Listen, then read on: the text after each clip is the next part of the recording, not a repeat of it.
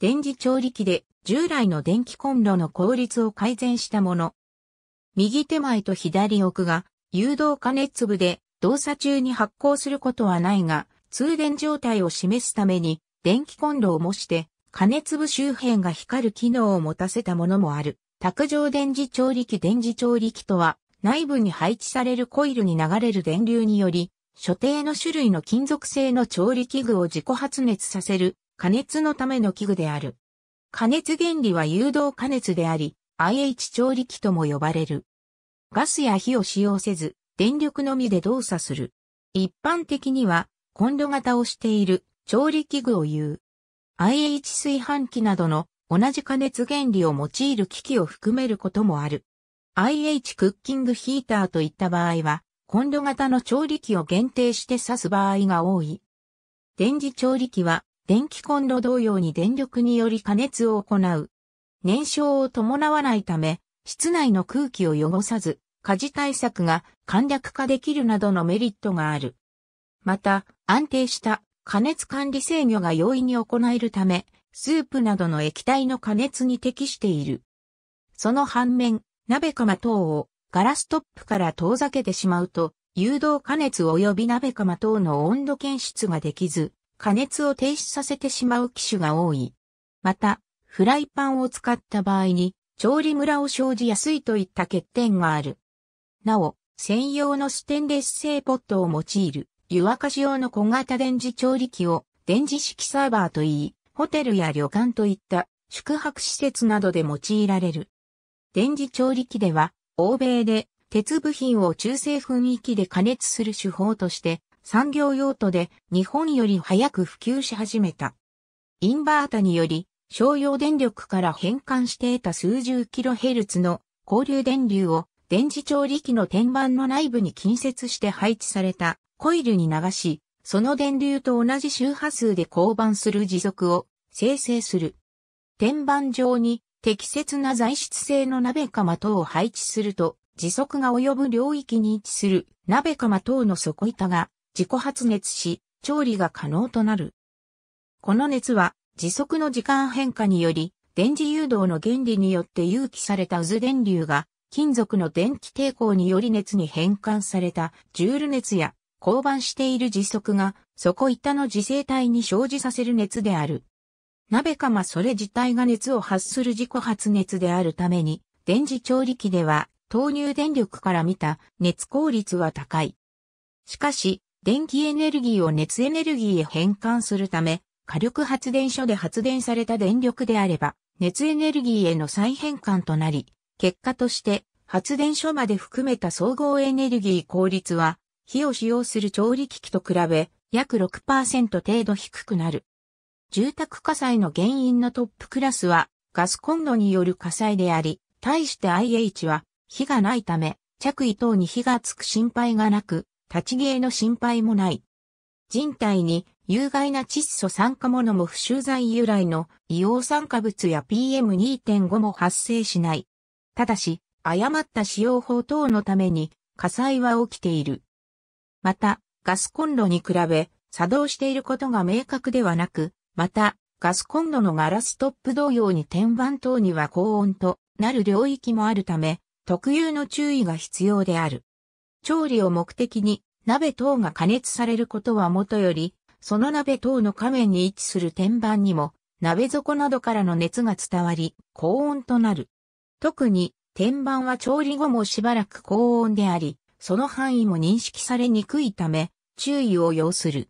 また、熱で溶ける樹脂製の調味料入れ等を置くと、溶けてくっついてしまう。電磁調理器では、天板は時速を通す必要があることや、耐久性などの理由で、ガラスなど放熱性に劣る材質が使用されることが多い。そのため、多くの器具では、使用者に注意を促す対策が取られている。例えば、鍋等を置く位置に高温である可能性を示す注意表示がプリントされていたり、作動中や温度が高い間、ランプの点灯、または明滅により高温となる位置等を目立つようにされている。なお、ガスコンロの天板にもガラスが採用されており、バーナーを出すための穴が開いているため、耐荷重は同じガラスを用いた電磁調理器より劣る。さらに、電磁調理器では、質量が小さい調理器具を使用するときに、鍋底と天板との間の水気による横滑りを注意する必要がある。テーブルの上に置いたお椀が自然と滑り出す原理と同じである。うっかり幼児が触ると火傷を招く。電磁調理器では天板が平らであり、調理後の掃除が簡単である。この点は、電磁調理器はラジエントヒーターとともにガスコンロやシーズヒーターと比べ格段に優れている。なお、ガスコンロもガラストップコンロが主流となっているが、燃焼口周りがある限り、この差は埋まらない。ただし、調理後、熱いうちは、火傷に注意がいる。また、味噌やケチャップをこぼしたまま放置しておくと、熱で変質し、黒い塊になってこびりつく恐れがある。また、肌カビがないため、油の飛び散りを防ぐ目的で、鍋等の近くにボール紙等を使用することも可能で、実際に日用品店やホームセンターなどで焦げ付き防止用のシートが発売されていることが多い。ただし、オールメタルタイプでは市販のアルミ製のガード等をコイルの近くに置くと加熱される可能性がある。電子機器でもあるため、フィルター部の目なじりの清掃が必要な機種では、怠らずに内部で発生する熱を逃がさないと不具合の原因となる。IH クッキングヒーターの製品では、電気抵抗式ヒーターのグリル部分に取り外せないシーズヒーターが中間の高さに突き出しているものが多い。清掃は取扱説明書の指示に従わなければならない。電磁調理器では原理上、容易に出力を制御することができる。このため、概要にて上述したように、電磁調理器では安定した加熱管理制御が容易に行える。とろ火から素早く湯沸かしできるハイパワーまで出力制御の幅は広い。電磁調理器では加熱が調理器具の底部のみで行われるため、調理器具の底部以外の部分があまり熱くならない。このため、鍋等の持ち手も熱くなりにくい。その反面、鍋釜等をガラストップから遠ざけてしまうと、誘導加熱及び鍋釜等の温度検出ができず、加熱を停止させてしまう機種が多い。このため、ガス器具と比べて煽り調理に向かない。持ち上げると加熱されないことと、ガラストップは衝撃で割れる可能性があるためである。なお、ガラストップは摩耗には強いので、フライパン等を乗せたまま水平に振るよう推奨されている。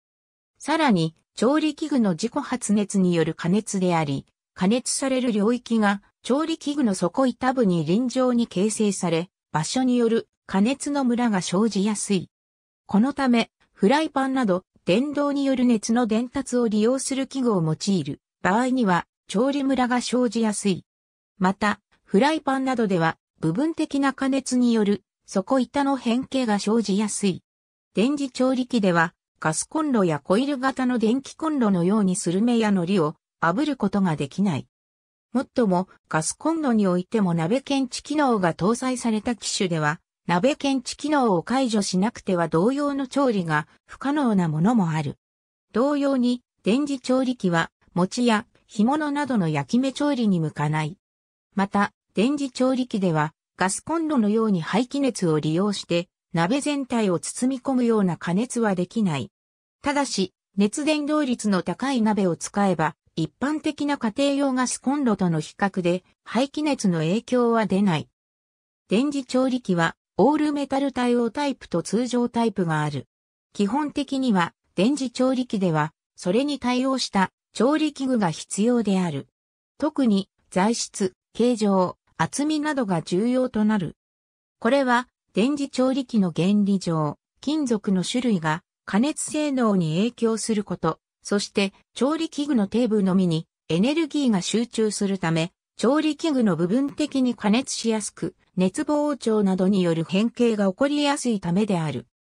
オールメタル対応タイプと通常タイプの電磁調理器に共通して使える調理器具は、鉄などの磁性体金属がそこにあるものと、一部の非磁性ステンレス単装品である。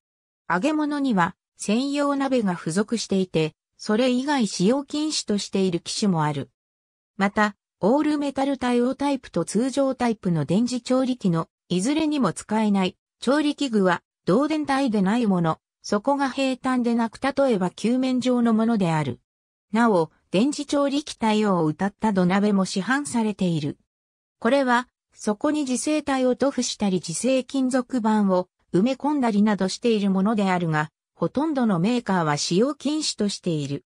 オールメタル対応タイプは、アルミニウムや銅やすべてのステンレスなど非磁性金属製も使えるが、熱効率が落ち、火力が弱くなる。通常タイプは、総アルミの軽いフライパン等は使えない。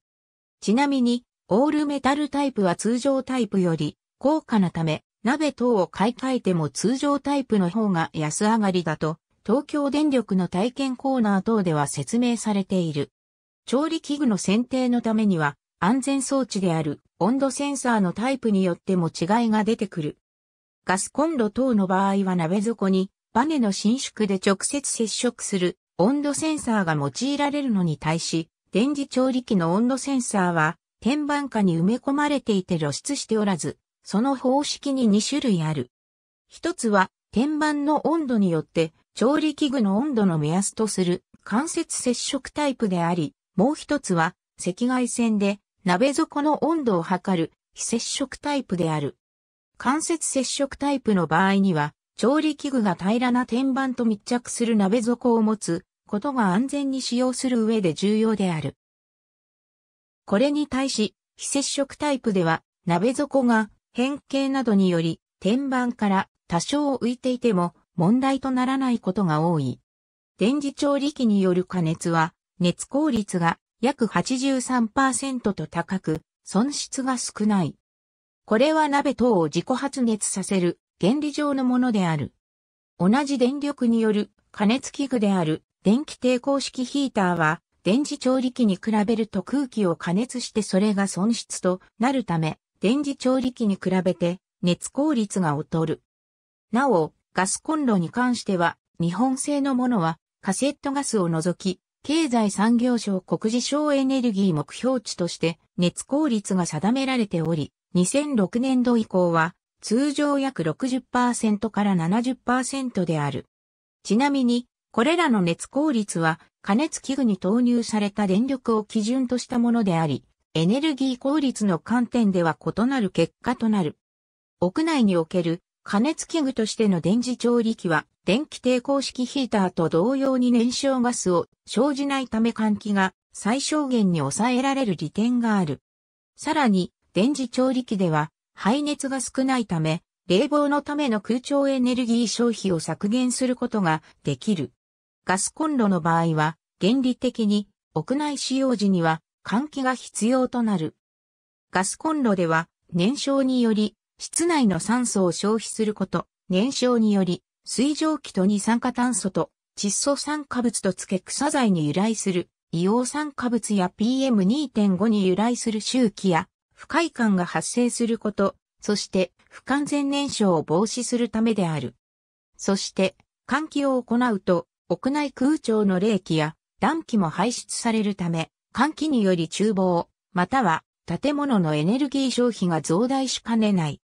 ただし電磁調理器であっても食材が発したものは廃棄が必要となる。また、電磁調理器は油分や水蒸気が広範囲に拡散して周囲に油が付着しやすい場合がある。これは燃焼ガスが生じない電磁調理器では調理時の上昇気流が弱く上昇気流を利用した換気がしにくいことと関係している。その場合、排気ファンの能力を高める対策が必要となることがある。もちろん、その能力を利用すれば、換気により排気するには、吸気が必要となり、蒸気メリットが期待ほどとならないことがある。ちなみに、ガスコンロでは燃焼ガスのドラフト効果もあり、排気補足率が高く周囲が汚れにくい。燃焼式は火災や地震などの際、燃料漏洩による被害拡大や二次災害が予測される。これに対し電磁調理器や電気抵抗式ヒーターが使用する商用電源は有事の際には直ちに遮断することができ、災害発生時の安全性については優位と言える。反面、プロパンガス用のガスコンロが災害発生後、安全が確認され次第直ちに復旧が可能で、あるのに対して電磁調理器はインフラストラクチャー破壊によって商用電力が遮断されると電圧等が合う発電機でもない限り使用することができず、給電設備の復旧を待たなければならない。停電は豪雪や台風などによっても発生するため、プロパンガス地域では停電を嫌ってガステーブルを使用する過程もある。電磁調理器は交番磁界を生成しているため電磁波を発生している。鉄の鍋を使用している時よりオールメタルタイプでアルミや銅の鍋を使用している時の方が交番磁界の周波数は高い。一部ペースメーカー、植え込み型除細動機の誤作動や腕、低の金属装着部への加熱の危険性が指摘されているが、具体的な立証はされていない。なお、装着者に対しては、IH 炊飯器の保温中の状態を含めて、作動中は植え込み部位に近づけない、体に異常を生じた場合は、危機から離れ、回復しない場合は、医師の診察を受けるよう注意喚起がなされている。なお、電磁波環境は X 線などの電離放射線以外は特殊健康診断の対象ではない。音量の大きい騒音はないが、コイル等から発信周波数で生じる音を感じ不快に思う者もいる。また、冷却ファンのある機種もある。高層ビルや地下街では排気、火器管理が特に厳格である。調理結果の料理の食味においてガスコンロと比較した時焼き魚、野菜炒め、竜田揚げはガスコンロが勝るとする研究がある。CO2 排出量について電磁調理器と都市ガスを使用するガスコンロを比べた場合、熱効率を考慮し同じ熱量の加熱で排出される二酸化炭素排出量を発電等も含めたトータルで見ると電磁調理器の方が CO2 排出量が大きいという主張もある。これは調理として電力を使用する時間帯の主電源は火力発電であり、その一時エネルギーとして占める天然ガスを設定した場合において、発電効率及び送電ロスを加味した場合によるものとされている。つまり、この主張は、一時エネルギーからの変換効率とすると、電磁調理器のエネルギー効率はそれほど高いものではないというものである。例えば、最近のコンバインドサイクル火力発電では、変換効率は59%であり、電力が全量その変換効率により、火力発電により賄われているという過程を置けば、総合すると約49%となる。採掘後に原則として損失なく、使用場所に供給されるガスを燃料とするガスコンロに比べて、電磁調理器のエネルギー効率は低下する。なお、CO2 排出量はエネルギー効率とは異なるため注意が必要である。実際の CO2 排出量を決定するためには、発電所の発電電力には常に未使用分があること、火力発電において CO2 排出量が燃料構成に依存すること、すべての火力発電が最新の高効率のものではないこと、発電には火力以外にも原子力及び水力が含まれ、ビビたる量ながら、その他の再生可能エネルギーによる電力があること、石炭化天然ガスの輸送その他の諸事情が考慮対象とされる。安全性について、電磁調理器の販売台数が急増するのに伴い、火災などの事故が頻発しており、その主原因は消費者のご使用と経済産業省の調査結果が出ているため、同省はその対策強化を進める方針を決め、ガス調理器も長年、啓発や改良を重ねてきた。IH 調理器もメーカーだけではなく、電力会社も啓発や製品改良を進めていくべきだと表明している。電磁調理器は安全でエネルギー効率もよく簡単に使えるということを宣伝文句として販売されているが、これらの宣伝文句が必ずしも現実に即しているわけではないという主張も一部の消費者団体からなされている。2006年現在、そのメリットデメリットについて、メーカーや電力会社など、利害関係者、国や民間の研究者、反対の立場である団体、専門機関などで研究が行われている。国内のシステムキッチンメーカー各社や電力会社系小売事業者へ供給されるビルトイン IH クッキングヒーターはパナソニック、日立、三菱3社のいずれかとなっている。ありがとうございます。